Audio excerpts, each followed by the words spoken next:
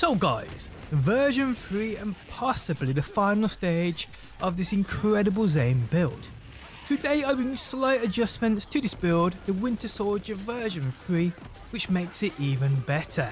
How's it going guys, my name is DPJ and today I bring you another BL3 video. If you do enjoy it, leaving a like really helps out and subscribe if you want to see more. On screen now you can see my weekly giveaway along with last week's winner. To be in with a chance of winning this yourself, follow the instructions on screen now and good luck. So my Winter Soldier Zane build started about a month back.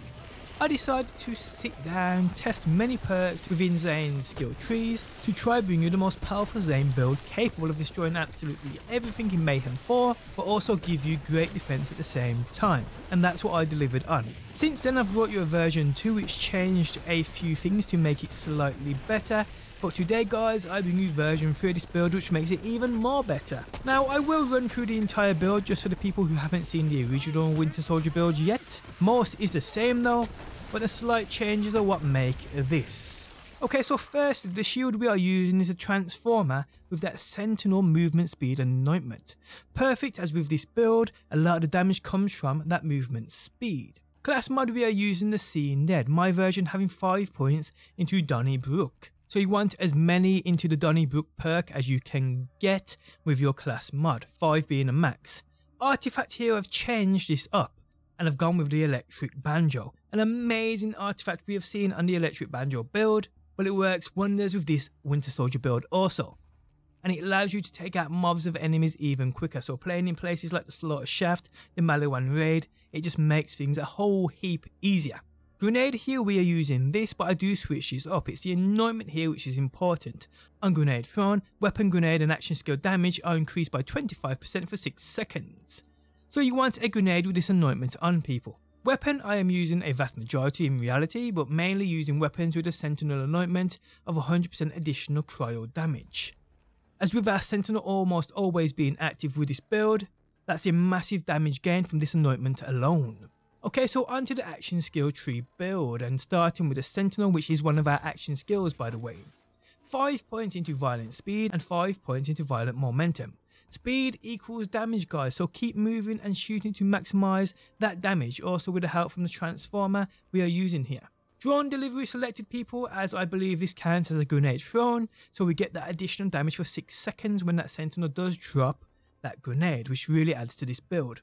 3 points into salvation needed to get that health back in times of need. Death follows close selected as this is a very important perk, giving us an additional 25% kill skill effect bonus. We also get 25% from our class mod too, so that's 50 in total, which is ridiculous. Our class mod, by the way, people, if you don't know, also all selected kill skills you have on via your build will activate via you just simply shooting at enemies. You don't have to kill enemies, which is incredible.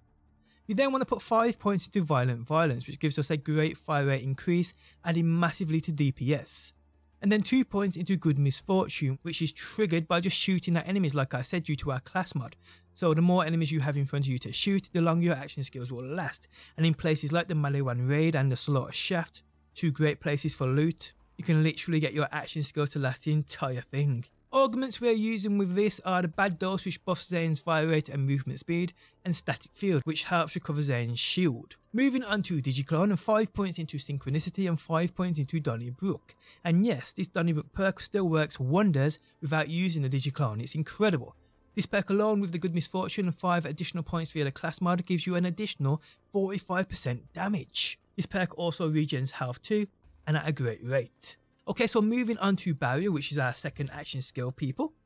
5 points into Adrenaline and 4 points into Ready for Action.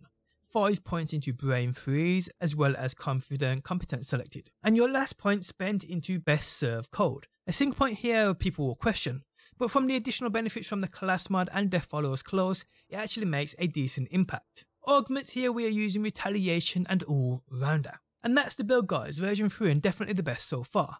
More changes may come in the future if I do figure out a way of making it even more powerful. But if you were a fan of the Winter Soldier build, the original, and have the additional changes in terms of the artifact shield and grenade, try this out and tell me your thoughts. For me, it makes running the Slaughter Shaft and the Melee Raid on Mayhem 4 even easier. It's a great, perfect balanced uh, build which gives you amazing damage, perfect defense in terms of your barrier always being active, so you're more or less invincible unless you get meleeed. And with the stacked damage bonuses coming from your action skills, your anointed weapons, and so many other things, it's incredible. So do enjoy this build guys. Now stay tuned as I do have some incredible Zane builds to come. A couple have already built, which I'm still doing a few tests on, but they are pretty epic, so stay tuned for them. But on that note, we have come to the end of the video. If you guys enjoyed it, leaving a like really helps out. If you're new around here and want to see more Borderlands, be sure to subscribe. And if you never want to miss a video, you can turn on the notifications by hitting that bell button. But guys, thanks as always for stopping by. Hopefully you enjoyed the video, and hopefully I will see you on that next one.